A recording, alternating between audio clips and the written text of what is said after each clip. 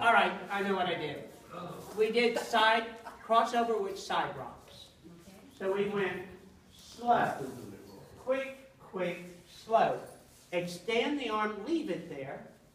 Quick, quick, slow. Extend it, leave it there. Now pick the lady back up, and we're back into our box. Okay? Open Cuban walks.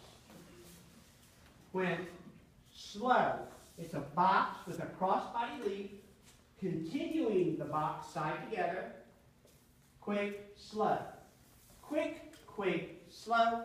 I said, keep the lady always in front of you, and you can only turn it when you get on the slow on your left, and then take little steps and let the lady come back up to you. Then we have snap underarm, quick underarm with loop. Quick, quick, slow. Quick, quick, hold slow. Quick, quick, slow. Quick, quick, slow. And fifth position break.